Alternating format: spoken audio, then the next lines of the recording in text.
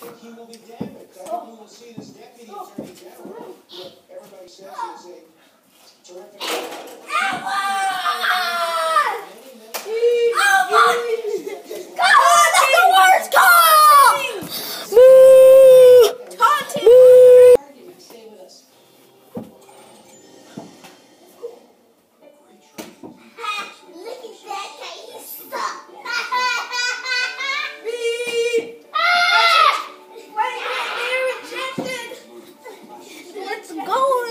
The horrible, but we get it.